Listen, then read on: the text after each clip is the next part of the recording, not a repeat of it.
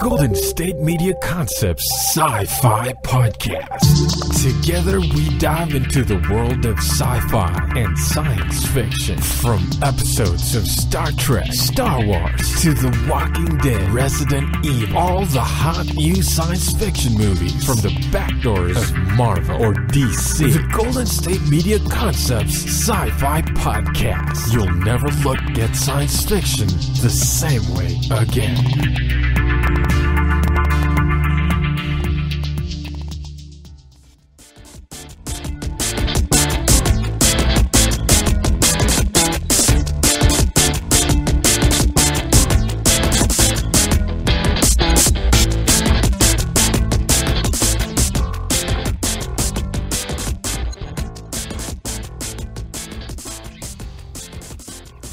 Hello there, everybody. This is Jay here with the GSMC Sci Fi Podcast brought to you by the GSMC Podcast Network. So, we got some really cool stuff to talk about this uh, episode, so let's just jump right in. So, I've talked a couple times on here about a little show called Castlevania. I've talked in the past of, you know, I haven't really played the games. I remember, I want to say, as a kid, playing one or two of them and then being rather challenging. I remember that. You know, they were usually 2D side scrollers. It was, I want to say in the games, usually it was Simon Belmont taking on Dracula and his horde of monsters. Um, I want to say that even the originals probably just took place in Dracula's castle. Um, as the game series progressed, there was um, a lot more games. I want to say they might even eventually stop focusing on just Simon Belmont. I want to say. Um, and yeah, like I said, the original games were really challenging, really difficult. I think most of the games stayed uh, 2D side scrollers. The later, more recent iterations might have made the jump to 3D, but like I said, I haven't really played almost any of the games except maybe like the first one or two. So it's been a very long time. And uh, the company company Konami has been behind, I think, them since the beginning. They used to be on Nintendo. I'm not sure if they're on Nintendo now or PlayStation. I, I just really don't know. But, um, you know, it's a very popular series. Um, it's, you know, I want to say generations of gamers have played it because it's been around, I want to say, about 20, 30 years. Now, the first time we saw a Belmont in an animated series, and this I have not talked about before, and I just started watching recently again online, is a show called Captain N the Game Master. So, for those that don't know, they did, you know, around the 80s, early 90s, they did uh, first Super Mario Brothers Super Show, which originally had the Legend of Zelda cartoon series, which did really well at first, but then didn't do so well when Adventures of Link came out. Which, if you've played that game, you understand why. And they decided to do it like uh, later. They did a Mario Brothers three cartoon. They did Super Mario World, and they did a show called Captain N the Game Master, where they had Simon Belmont in it. But Simon Belmont, uh, I don't think they did him justice. He's kind of like a, you know a jockey fool who you know didn't really know what he was doing and kept trying to get with this character that the other character was trying to get with. It was a really weird show, you know. And after that, we haven't really had anything Castlevania related until well, I want to say they might have shown up in one of the more recent um, Super Smash Bros. games, but I'm not really sure. I didn't really play the last one too much. But, anyways, so uh, Netflix did about, oh God, one or two years ago a Castlevania cartoon series. As I've said in the past, the first episode, uh, first season, only had four episodes. They're only about 20 something minutes each. Um, and I'm not even sure if Netflix believed much in the show at the time, but it, you know, fans really, really liked it. It did really, really well. It, I think, blew a lot of people away because, like, this was like the kind of Castlevania they've been waiting for, where, you know, we get to meet, you know, Trevor Belmont, we get to meet Sypha, we got to get to meet Alucard toward the end, uh, Dracula, and see why he's, you know, so angry with humanity it's a very violent show, but it has, you know, mixes of comedy and drama and some really cool things happen. And uh, season two, uh, you know, they just, they they announced pretty quickly, and they said it was going to be double the episodes. It's going to be eight episodes instead of four. I've talked about here on here in the past where you know uh, it's second season. I got to watch I really, really liked it. There were a lot of really cool twists and turns. There, I think eight episodes was better because it gave them a chance, you know, tell more around the story, to expand on the story, to kind of look at some, you know, different aspects of the story. We got to meet a lot of new characters, which were, you know, uh, Dracula's generals. We got to see more of Sypha, more of Trevor Belmont, more of his family history. Um, we got to see like you know more Alucard, you know, and that he kind of had a little inward battle going on. We got to see that uh, Dracula had two human generals, which uh, both were alchemists. I think is the right word. I want to say that may not be the right word though. They might have been. Um, if they weren't alchemists, they might have been. Um, well, they had some kind of power where they could bring back the dead, right? And they could kind of help make Dracula's army. So I don't know if alchemist is actually the right word. They might have used a different word on the episodes on the show in season two. And season two just came to a close. And so there had been kind of some rumblings of, hey, a season three might be coming from one of the voice actors. But there wasn't really anything written in stone. It's just like, hey, this may happen. Fans hoped it would happen. Heck, I would like to see it happen. Well, there's some good news on the Castlevania front. So, just this last week, Netflix finally, finally said, okay, Castlevania is getting a season three. So it is happening. It is going to be coming. Um, I honestly think how season two went, it makes sense to do a third season. Um, and really all we know so far, because this is just an announcement, it's been on, you know, like uh, Facebook and Twitter and, you know, and social medias and things like that. It's kind of like how some of these other previous ones goes, as I've said on here before. You know, we know that we're going to get a season three, we don't know if it's going to be four episodes, eight episodes, 12 episodes, 16 episodes. We don't know any of that. We don't even really know when it's going to happen, but it's probably safe to say mm, probably sometime next year. And uh, yeah, like I said, how the last season ended, um, it was definitely a little. There were a few surprises there I didn't see coming. I was like, okay, I didn't think they were going to do that. It kind of made sense for some things to happen, but it was still kind of surprising. Um, Alucard is kind of like you know left. He's kind of like you know not sure what to do next. Um, you know, Trevor Belmont and Sypha decide to go on their own, you know, and uh, see what's you know what they can do next. Uh, so they decide to work to continue working together. Um, and of course, as I've said before, one of uh, you know Count Dracula's generals kind of decides to start their own little thing going on. So there's going to be that happening. But um, yeah, I think it's really cool that they've officially said this. So, like when you hear usually officially, okay, it means it's going to happen. It means you are going to see it happen. It's the show has been canceled, so that's great. Um, and on the same note, at least how season two ended, I don't know exactly they could do past a season three. Now, mind you, again, like I said, I haven't played many of the games, so I believe in a number of the games, Dracula does come back a couple of times. So that so what we saw in season two, um, doesn't mean that we're not going to see him anymore. I mean, remember, he's a very powerful being. So I'm curious to see what season three is going to do. I'd love to know how many episodes there's going to be, um, and I would like a potential release date because even when I said last week, you know, with Disenchantment, we at least know, hey, it's going to be 2019, 2020, and 2021. We at least know this. Whereas with um, this, all we know is they're doing it. So, Konami, it's a good start. Thank you for letting us know this is officially happening.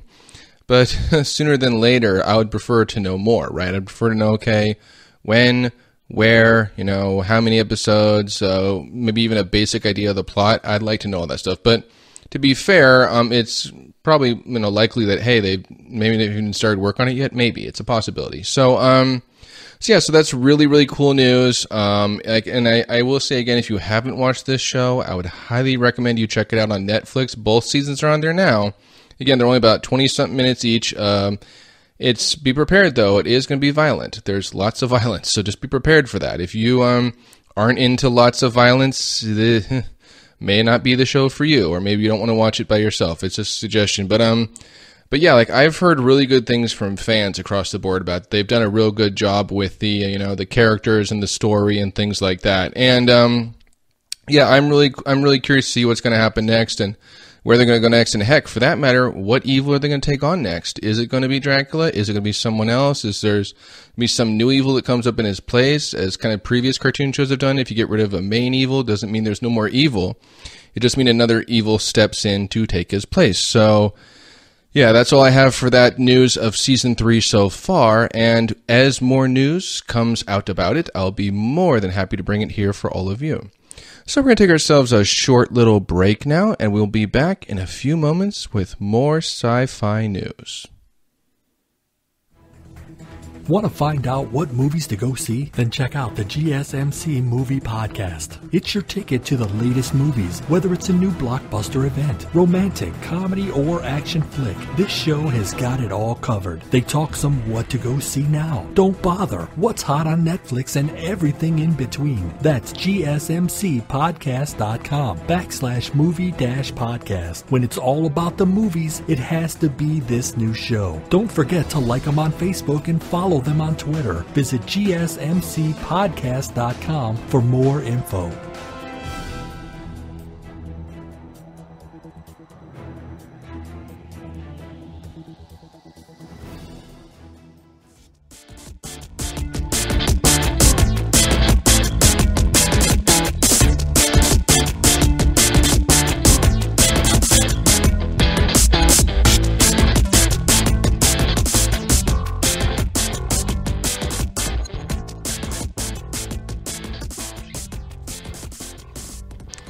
Everybody. This is Jay back for more sci-fi news. So, um, the next thing I'm going to talk about um, has kind of an interesting history going on around it. Um, it's a movie that I think has been talked about coming out for a while, and I think fans have wanted to see it for a while. Um, originally, there was even talk at one time that Sacha Baron Cohen, who has been in movies like Sweeney Todd, and uh, he did like Borat, and he's been in actually a number of films, really was going to play this character. He was going to play Freddie Mercury. And really, at the time when you looked at him, it's like, hey, he looks like Freddie Mercury. I could see him playing for Freddie Mercury.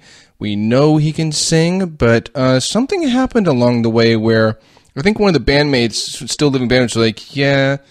No, he's not going to do that. I'm not going to let him do that. That's just kind of how it went. It's just like, well, no mas. So that for so it seemed like for a while, and I want to say even a few years ago, that we were going to get this movie we are going to get to see this story, and it just kind of fell apart upon itself. In the last year or two, um, it kind of gained some new life and was coming around again. And if you're wondering what this film is, if the anticipation is killing you, this movie is Bohemian Rhapsody. Now, what is Bohemian Rhapsody? Well, it's basically a Queen biopic. It really more focuses on Freddie Mercury, you know, and uh, it's got Rami Malek playing uh, Freddie Mercury, which I have to just applaud. I think it's an amazing casting choice. I wasn't sure about it at first. So like, you know what? I haven't seen Rami Malek in too much. Yeah, he was in Twilight Breaking uh, Breaking Dawn Part Two. Yeah, he's on Mr. Robot, which I've heard is a really good show, but I don't really person I didn't really personally know much of what he was in. So it's like, well, I don't know if he's a good choice or not. I just don't. You know, it's just the reality. Um, there's a really cool cameo in this movie with Mike Myers that I will get into. Uh, he plays a character that I think it was really, really fun. But so this movie basically follows Queen from their start, from their humble beginnings, like, you know, their rise to the top, all the way to um, them playing at Live Aid.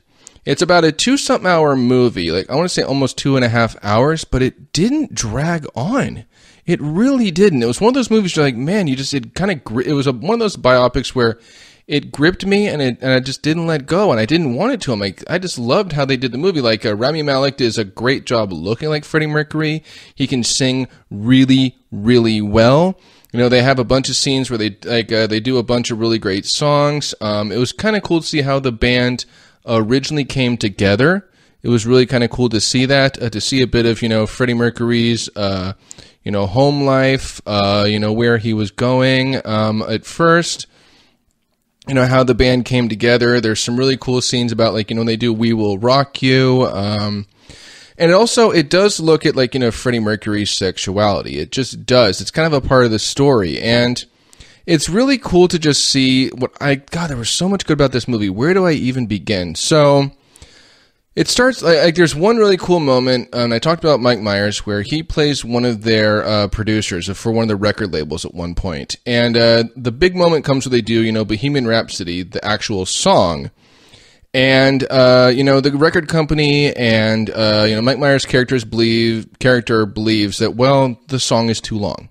It's a seven minute song.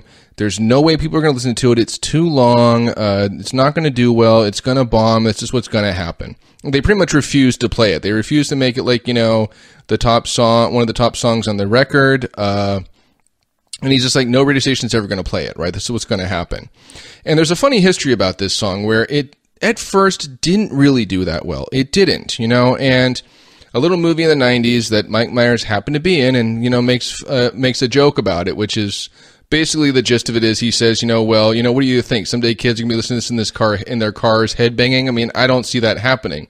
If you've seen Wayne's World, you know, that's exactly what happens. And so the little history of that song is, you know, Mike Myers, when he, they were getting ready to shoot Wayne's World, was like, I want to do this song. And they're like, eh, we don't know if you shoot that song. I don't think it's going to do well. And I think he got to a point I've heard where he was ready to walk. He's like, you either let me do Bohemian Rhapsody in this scene and trust me, or no more movie for me. So they're like, okay, fine.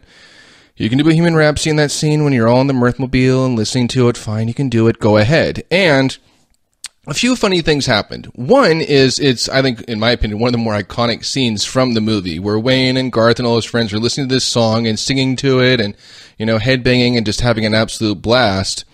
And what it also did was it put this song back on the charts. That scene in the mo- in this movie put this song back on the charts. I want to I don't know if it shot it to number 1, but it put it on the charts. People were like going listening to, they were listening to this song again. They were rocking out to this song again. And I think it actually helped the popularity of the song. So there's, so we get to see like a number of the scenes in this movie where, you know, how Queen, like, you know, comes about, how they, you know, like, like hit after hit and, you know, where they're getting bigger and bigger. Um, eventually it comes out to like, you know, where, yeah, his sexuality and what's going on with him and his orientation. Um, there is a part in this film, you know, with the whole AIDS thing going on. So that is a part of the story.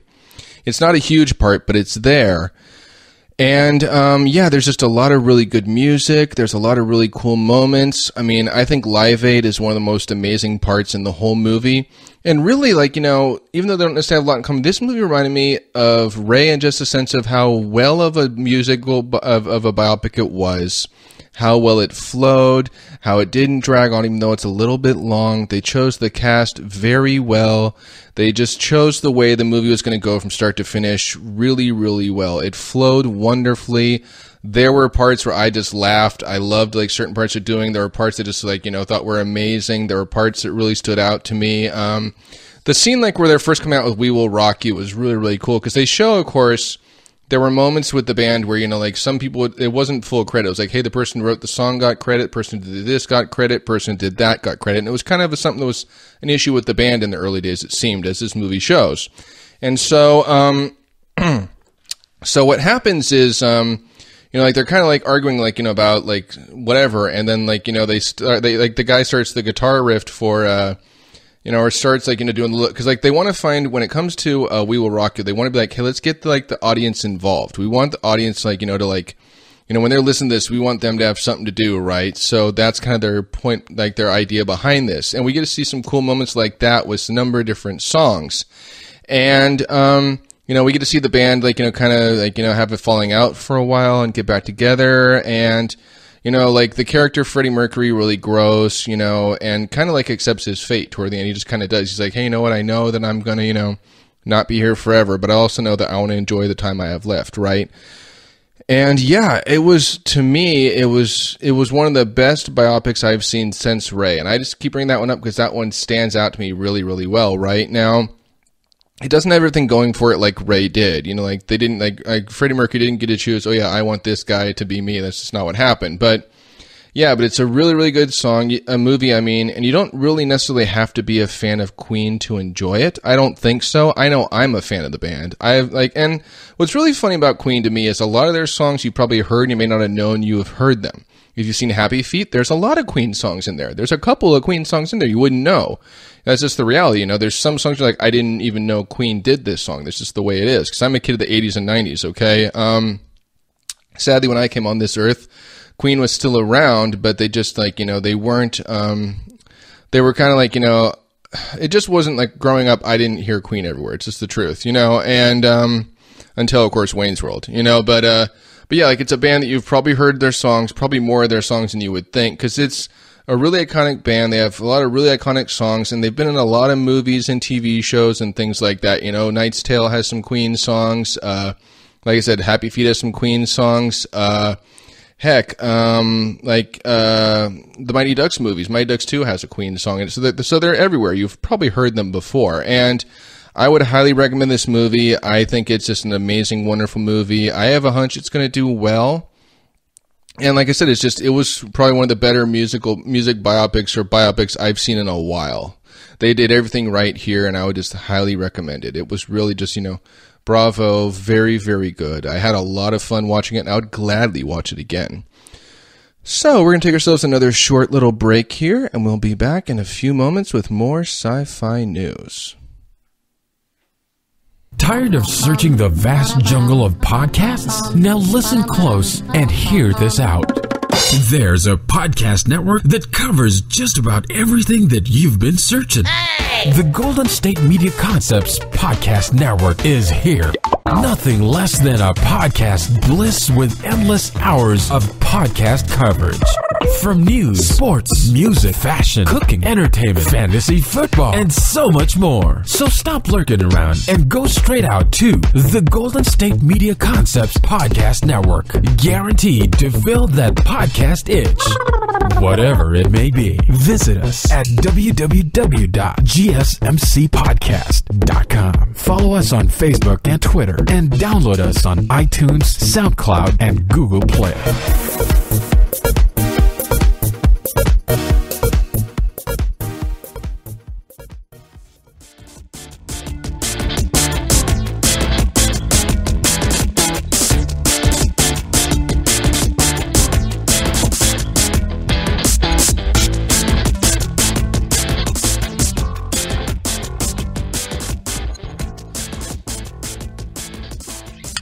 There, everybody. This is Jay back for some more sci-fi news. So this is something I haven't really done on here before, but I think I'm going to maybe start doing it. Is um, I'm going to bring a book to this sci-fi podcast, and it's actually from a series of books, and it's a book that I originally just stumbled upon.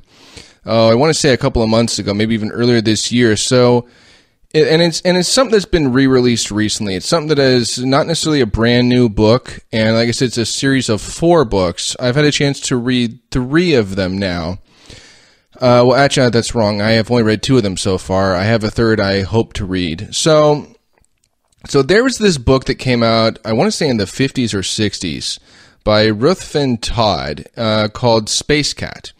And so, what the first book focuses on is uh, there's this cat, like, you know, who sneaks into this uh, little, like, you know, rocket station um, and, you know, sneaks on, like, starts working around there and hanging out there and getting taken care of there. And it thinks it's in charge of the place. Um, it's not, but this is what it thinks. Uh, the cat gets the name Flyball. Um, it was originally, you know, like just a stray that they kind of take it in.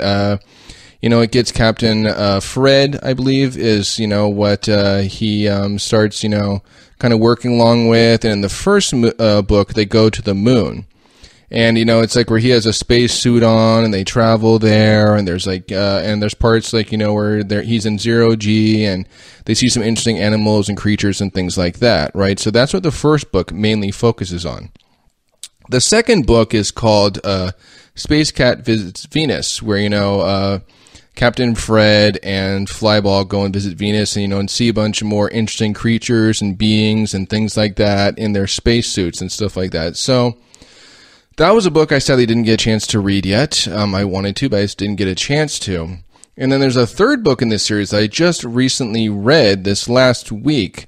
And this is called Space Cat Meets Mars. So what happens from the first book to the third book is after no, I mean from the second book to the third book, forgive me, is um, you know uh, they're coming back to Earth. Uh, like they they are starting to lose power, and they have to kind of like you know emergency land on Mars. And they find out during the day that uh, at least in this book, in the world of this book series, that during the day there is oxygen on Mars, meaning you don't have to go around in a spacesuit, right? But it's only during the day. Yeah, you know, if you don't get back to the ship before nightfall, you know, it's going to all turn into like, you know, not oxygen anymore. And it's going to be really dangerous. And so, uh, and they have to, they had to land because like, like their uh, engines are gunked up. So while, you know, Captain Fred is trying to, you know, uh, clean up the engines, uh, Flyball decides just to explore around the planet, see what he can see. There's, you know, giant mushrooms, there's, uh, giant bugs, there's, uh, weird metallic mice that he tries to catch and play with. And he finds out, well, I can't really eat them, but I guess I can play around with them. Uh, one of the days, because they're there for a couple of days where they're trying to clean up the, uh, well, he's trying to clean up the engine.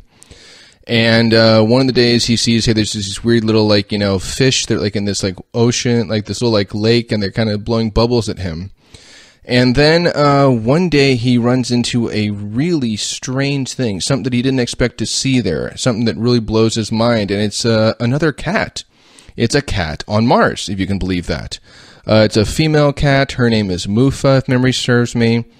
And you know, and he finds out like, wow, like there's so there's technically another me here. I didn't expect to see something like me here at all. He saw it a few days before, but he thought it was just his eyes playing tricks on him, right? And uh, yeah, so like you know, he explores the planet a little bit. Um, him and Mufa go on a few adventures together. She shows him how to catch the fish there. Um, she tells him, you know, that hey, I think I'm the last of my kind here. I don't think there's any more of me around. Sadly, I think I'm the last one. Uh, there's one point where a storm comes that uh, that Flyball and his uh, human didn't see coming, and she helps uh, helps them by uh, you know having them hide in a cave where they can you know there's plenty of oxygen in there and they can be safe until they ride out the storm, right? And as the story comes to a close, you know, and the and the uh, engine gets ungunked up, you know, uh, Flyball is pretty much saying like, you know, to his, to his master, he kind of like meows, and his master's like, all right, fine, we'll take Mufa with us. So at the end of the story, you know, uh, Mufa and Flyball are going to be in the ship with uh, Fred, and I believe they're heading back to Earth now, is what's going to happen. And um, I have to say, you know, I really like this series of books so far. They like they have they have some really cool illustrations as the story goes along. They're about you know eighty to hundred something pages usually, so they're not superbly long. They're mostly for more like young readers, but um, yeah, they've they have fascinated me so far. You know, it's I don't think it's just because I'm a cat person, but I've really liked them so far. I've had a lot of fun reading them. Um, it's kind of interesting where like you know I, I, you never really know what's going to happen next. It's just the way it goes. Um, Flyball is a really cool character. Uh, you know, like uh, Fred is a really good character, and I guess I believe that his name is Captain Fred. And just the adventures they've gotten to go on so far have been really, really cool. You know, I've really enjoyed them. Um, I'm kind of glad these books got re-released because if they hadn't, I probably never would have read them in the first place. That's just the reality. You know, it's just the way it is. Uh, the entire four series is like Space Cat is the first one, Space Cat visits Venus is the second one.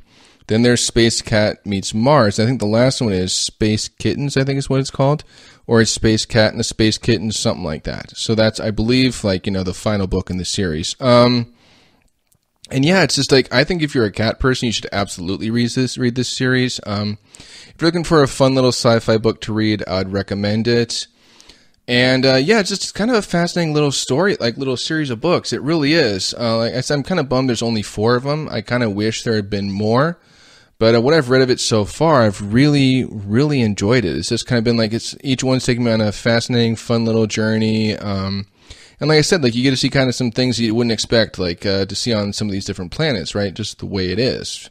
And it's always been Flyball who's been the explorer so far. And Flyball, you know, is just this simple cat, you know, who knows that he's important. He knows that he's, you know, getting to do this before anyone else. He's kind of the first cat on some of these planets and uh, him and Fred get along really well. Uh, they kind of have a little partnership at this point. By the third book, they see each other as partners. It's not like Flyball goes, "Hey, you know, I'm your boss, and you know, you get to do what I do and make me, you know, happy and help me do what I want to do." No, he at this point he realizes, okay, we're partners in this.